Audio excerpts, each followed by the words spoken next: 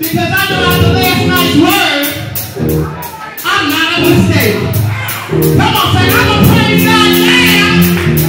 Because regardless of what I've been told, regardless of how